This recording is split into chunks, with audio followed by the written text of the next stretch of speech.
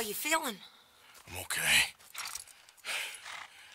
I think you should cover me and I'll go in there and get her. Cause you're the better shot, I mean. That ain't what you mean. I can still fight. I know, Arthur, but just do it my way, honey. It's for the best. Get up someplace high, like the lighthouse or something. And cover me. Please.